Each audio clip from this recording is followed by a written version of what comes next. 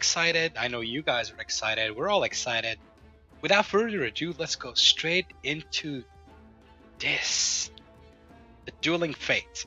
As you guys can see on the screen, the new update is out right now. The new patch 707 update representing two new heroes. Donté the Pangolier and Mireska Dark Willow. Now, wow, look at this. Look at this. It's shaking, it's trembling, everything. Let's let's click on Mireska and see what's going on. Is it gonna put on the hero screen or Introducing Dark Willow. Some fun, shall we? Let's have some fun, shall we? Of course, why not? Ah, it's a range support hero, nuker, disabler, and escape. First spell being a Bramble Maze. Dark Willow creates a maze of Brambles in a dark area. Enemies that walk into the Bramble take damage and are rooted. Okay, I've seen this on YouTube. So basically, she can like create a small forest. It's not it's not like a forest, but it's like a maze with like five, six of these brambles. And like if you touch any of those, you're rooted for a couple of seconds, 2.5 seconds at the end, and you take damage. Now, guys, I'm talking 250 damage each hit. So if you get trapped inside of these, and then let's say you have to hit two of those to get out, you're gonna take 500 damage and be rooted for five seconds. That's incredible for a team fight. Team fight, this is crazy, guys. This is crazy, and it's a first spell. Second spell is a Shadow Realm. Wow. She becomes untargetable, and her next attack has increased range and deals bonus magic damage. Now, I heard it with this spell, the longer you stay untouchable or untargetable in the Shadow Realm, the more damage you do at the end, to a maximum of 360 damage. I like that. I like this hero already. The third spello, spello. Oh, Dark Willow has a third spello. Look at me. Haha. Fuck that shit. Anyway, Dark Willow casts an ancient fake curse on the target. After a delay, the target or nearby enemies are stunned. So basically, she targets the area, she puts a curse, and after 4 seconds, all the enemies inside of that area are stunned for 3.5 seconds. Now, if you do a 5 man stun, GG well played, everybody. You die, they kill you. Easy. Now, she has two ultimates, guys. It's a Bedlam and Terrorize. Now, the first one, she puts a pet wisp around her to follow her and to deal damage. That's super exciting because that wisp deals a lot of damage. If it's a single target, you have a high chance to kill that person easily. If you're surrounded by enemies every 2.25 seconds, the wisp is gonna attack every one of them around you. And it's huge damage, guys. 225. Holy, you know. Now the second one is Terrorize, and if you cast it in that area, all the heroes within that area will be made to run to their fountain for 4 seconds. So if you hit all 5 of them, they will all start running towards their fountain for 4 seconds. They won't be able to control their heroes or do anything. They'll just run in fear. How awesome is that, right? So this hero is amazing. I like the talent trees. I've seen them all. You can increase the terrorize duration, increase the cast range, gold per minute, shadow realm, max damage, or you can get 10% spell lifesteal. There's a lot of things you can do with this hero, and I, I think the builds are going to be amazing. Now, I've seen that you can buy mortal items for this hero, and for the Pangolier as well. On a courier, you get a ward, but these are all like a part of a set that was able, you know, it's it was 33% off. I don't know right now, maybe it's maybe it's not. I don't know. Anyway, let's go see the other hero. I want to click on the Pangolier. the Honorable Donté Panlin at your service. Ooh, wow, look at that. I already like this guy. He's got like a positive attitude and everything else. I like the the whites on the background. Everything is nice. And, you know, there's like just this picture represents some like good vibrations. He's a melee carry, nuker and disable, durable, escape, and initiator. Alright, I already love this guy. He's like an armadillo or something, if I'm correct. With a fencing sword. Wow. Now the first spell is Swashbuck, And it cannot be dispelled, it's physical damage. It's a vector targeted spell. Okay guys, for all of you who don't know what a vector targeting system is, please make sure to go watch some videos on YouTube about Pangolier. The best one I've seen so far is made by Sunsfan and Dota Cinema. So just go uh, just go to YouTube and type Dota Cinema Pangolier, and you will see everything about that hero. This is not a paid sponsorship to Sunsfan or Dota Cinema. I'm just referring to that video. I'm not saying anything else. Okay. So I'm just saying that the one I saw explained by Sunsfan was incredible. Now, when you click on a target area, and then when once you click on that area, you have to point your mouse in a certain direction. That's what vector targeting is. And then this guy will roll to that direction, and then it's gonna start attacking to the direction where you point to your mouse. Like for example, it's gonna roll in a certain direction and then attack north or south, up and down. You know, it doesn't matter where you pose the mouse, so it's easy. Now we have a shield crash. Pierces spell meter? No. This guy jumps in the air and slams back to the ground, damaging all enemies in a radius. Like for each enemy hero hit, he gains a percentage of incoming damage reduction for a short time. A maximum of what I saw was 14% per hero. If you hit 5 heroes, well, 5 multiplied by 14 is a lot of, you know. So he can get up to 70% damage reduction. And I think this damage reduction works for spells and physical damage as well. I don't know. I'll check that one later. Um, the next one is Heart Piercer, and it cannot be dispelled. It's a passive spell. Oh, I like the passive ability. It reads enemies perfectly. Okay, on every attack, you have a 15% chance. Wow. To slow the enemy for 52 seconds, you slow their. Okay, movement speed for 50. Wow. Okay, guys, sorry, I'm, I'm, I'm just amazed. So basically, you slow their movement speed by 50. Duration is 5 and the debuff stays for two seconds. That's incredible. And I think you can proc this by using your first spell. we'll, we'll, get to that later. So let's see. You see him? If, for example, if you hit your enemies with your first spell, he can proc his Heart Piercer and make that enemy slow, or those enemies, whoever is in the way. And this ultimate is Rolling Thunder.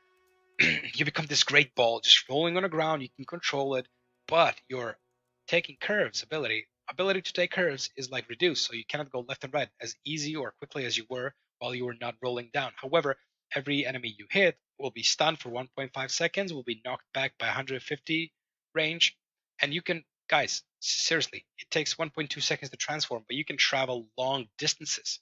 And I'm also talking damage. He deals damage to every enemy hit, creeps, whatever. It's it's incredible. It's incredible. It can hit walls, cliffs, or cause a temporary pause while Pangolier reverses direction. It, it's great. This spell is amazing. You will see it in the game, and you will see a lot of videos about this on YouTube in the next couple of days. Um, I want to see the changes. Can I see the changes? Nope. Okay, this is his hero guy. All right. Um, like learn more. I want to see the change log. Want to see everything that happened. I know you guys want to see a lot. And uh, I know they added a new game mode. It's called Turbo you get more XP, more gold, and the games last a lot, lot shorter than they used to. This is great for practicing new heroes, new hero builds, and you know if you have some time, you can also practice with your friends. It's just great, great, great mode. Ability draft has been upgraded. I've heard about rank system that it's also been upgraded. So let's say they put a new ranking system which goes every season, and then at the end of the season it records your peak rank, and then the next season you start from there or something like that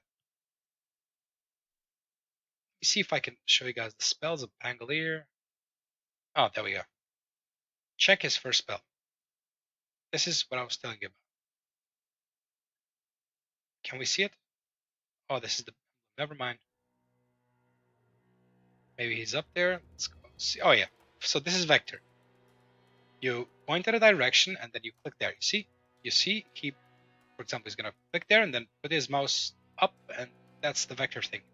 So you slide to a direction you choose, and then once you click on that direction, you have to choose uh, like a, put your cursor mouse in a certain direction so you can attack there. And if he procs, look at this. He attacks, it's a debuff. Look, he's slowed, he's taking damage, lasts for two seconds, and there's like an armor break around above his head. Now the Rolling Thunder, look at this. He cuts trees, he destroys everything. He just goes up the hill, down the hill. He can jump. Look at that. He can use second spell while doing this. It's incredible. He push people back, do damage, you can use Vector ability. However, guys, while you're rolling Thundering, if you use your first spell, it's automatically going to cancel the Rolling Thunder. Now, about the new heroes, that was it. I'm pretty sure they have put some new guides, new items into the game as well. They've did a new remodeling for the Ancient Apparition. There's a new Pinwheel. Can also troll your opponents. Um, every owner of the Blameform Legacy now got a voice sound. Sorry, not a voice sound. Um, it's like a a voice pack for the hero that you can you now use, like the Crystal Maiden ones they were in the past. Um, there was a lot of changes concerning the, the creep lanes, the reduction of the XP gained from uh, denied. However, creeps now grant more dam. Uh, melee creeps now give you more gold, and hero kills give you more gold. Basically, they're trying to speed up the game again. And what I don't like about it is that it's gonna really change the meta again, guys. Valve did this last year with the introduction of introduction of Dota 7, Dota 2 7.0 update with Monkey King. They changed the meta. Now they're gonna do it again. They're really reshaping the game, and I, am not sure how this is going to affect the, you know, comp- competitive gaming. Like people have to develop new tactics right now, change items, change builds because everything has changed. And trust me, guys, you probably don't know it yet. You're not aware of how deeply they changed the game, but they did. They did. Trust me, you'll see it. Now let me show you some new items, and the items have been reworked. So, all right. Aether Lens now doesn't give you more spell amplification. Battle Fury, they changed the recipe by adding uh, instead of Claymore and Broadsword, they give you Demon Edge. okay, it's good. Uh, reduction from boots of speed 45 to 40. Recipe change, they put Perseverance back instead of Soul Ring. Now the Fusel Blade, this is amazing. Doesn't have upgrades anymore to Fusel level 2. Doesn't have charges, you can just use it every 15 seconds. That's amazing, guys. And it, it doesn't dispel. Okay, that's great. Okay, we've seen those changes. Iron Talon has been removed from the game for all of you guys farming woods, going woods, being AFK 25 minutes. Well, you won't be able to do it anymore because fuck you guys. You're not supposed to farm for 25 minutes. You're supposed to help your teammates. And all those players who farm for 25 minutes don't deserve to, you know, play Dota. Everybody hates those players. Don't be one of those players, guys. Monkey King. Oh my god, the bar has been improved. So the first one gave you, the old one gave you True Sight, okay, and you had a chance to proc 160 magic damage the mini stamp. But the new one is Hyperstone, two javelins, okay, so no more Demon Edge. It's Hyperstone. gives you 60 attack speed and 75% accuracy. So basically, if you were missing, you, you have 75% chance more to hit the enemy. That's good. Um, accuracy, there's going to be more on that in the future, but I'm pretty sure if your opponent has like let's say 50% evasion, and you have 75% accuracy, that you're still going to be able to hit him easily with no missing. Oh yeah, that's good. Plus 60 pure damage proc. Alright, so every time you proc your accuracy, the attack that will proc 60 pure damage. That's awesome. 60 damage is not bad.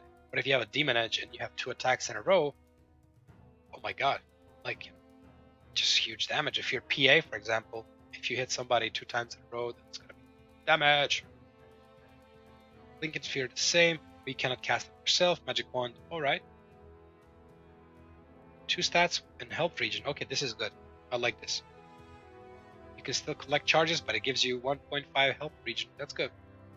They remove the archer's mana burn, but he, he can now purge. That's good. They remove the poor man's shield from the game.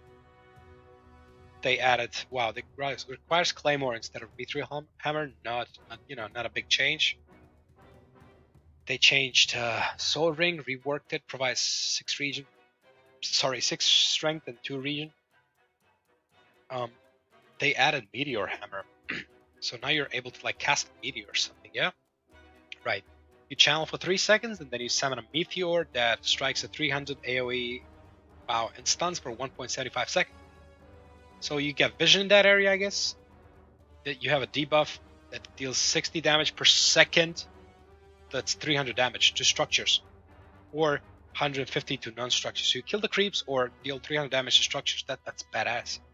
And you have a 60. Wow, cast range 600, 40 second cooldown, mana 125. You have vision, and meteor takes 1.5 seconds to land. This is great, guys. this is great for pushing lanes or killing long range of creeps. And if you're playing defensively, like you know, protecting yourself against those creeps, this is what you got to do. I, I, think this is going to be like a new late game item where actually mid and late game item where people just want to defend against like uh, super creeps on a lane or like you know nature's prophet or Chan or all those heroes who summon additional units, Chantras, whatever. Aeon Disc. Hmm. Vitality booster, energy booster recipe provides 250 health, 250 mana, and 25% status resistance. Oh, guys, this reduces the duration of like dot effects on you and everything else. Okay. crowd control effects like Fear, Stun, Disarm, Rude, CC. Plus, for DPS debuffs with slows, it instead just reduces the slow value. Okay, so it doesn't block the DPS, but it reduces the slow value. This is great. I like this. And in passive, whenever you take damage and are below 80% health, you apply strong dispel on your hero and you gain a 2.5 second buff. It reduces all. Wow, you become immortal for two seconds, 2.5 seconds. Okay, okay, this is great. Player-based damage. You cannot. Oh, it doesn't doesn't trigger on creeps. Doesn't trigger on Roshan, but if players to kill you and if you drop below 80, you're gonna go 2.5 seconds immortal, which means they cannot touch you. Great. Spirit Vessel. Um, Urn of Shadows, Vitality Booster, Windlace, Recipe. Okay, I like the combination of these. We have like like boost speed, health, and like regen and health. okay. In addition to urn behavior, so it acts like an urn, you casting on an enemy target now reduces enemy HP, regen, and heals. Okay, so you reduce their HP regeneration and all the heals they receive by 70%, and you drain 3% of their target's health per second. And what's the duration of this? Okay, for the duration of the urn.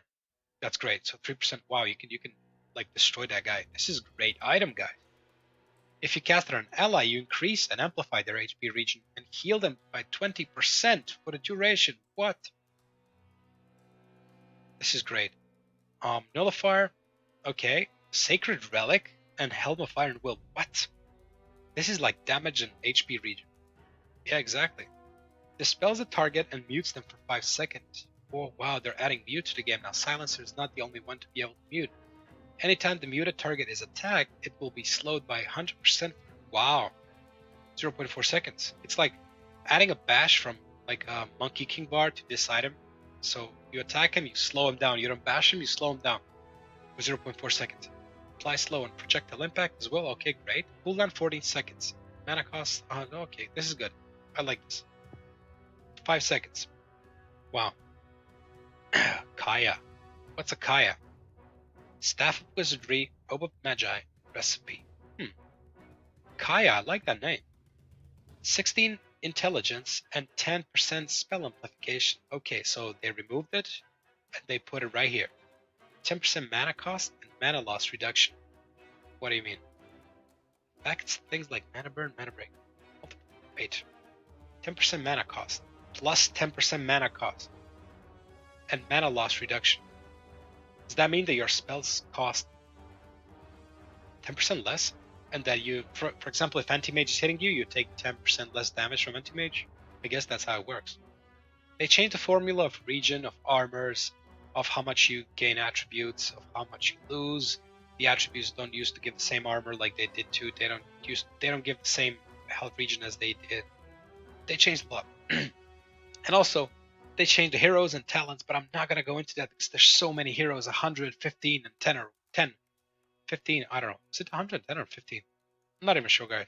But anyway, there's so many things they have changed, and I encourage all of you to go and play Dota because Dota is gonna be popular again. Dota will be back with two new heroes. Remember, guys, soon we're gonna get Pudge arcana, and that's gonna be amazing. Because I love Pudge, everybody loves Pudge and I'm looking forward to new majors, new tournaments, new battle passes, and I just want to see them all. I want to collect them all. I want to get new mortals, new unique items that people with prestige, certain level of battle pass have. That's it, guys, for me. Um, see you guys in the game. What is this? Oh wow, personal ranked here. Wow, this shows like your uh, prestige after each season. I, I love, I like this already.